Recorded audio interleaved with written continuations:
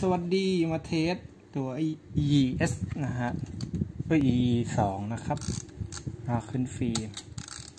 อันนี้โหมดปรับ auto นะครับ auto รูรับแสงแล้วทำงานดี นี่มืดไปช่องแดงขึ้นนะครับ นี่สว่างมากพอกดถ่ายได้ แต่ว่า manual เนี่ยจะกดถ่ายได้ตลอดนะครับนะทำงานปกติ ว่ามีตำหนิตรงนี้ ขอบขอบสีลอกนะครับ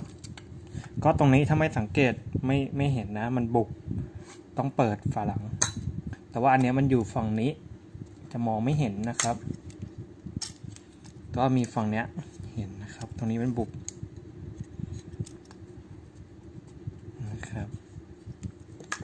ส่วนที่เหลือก็ทำงานดีครับ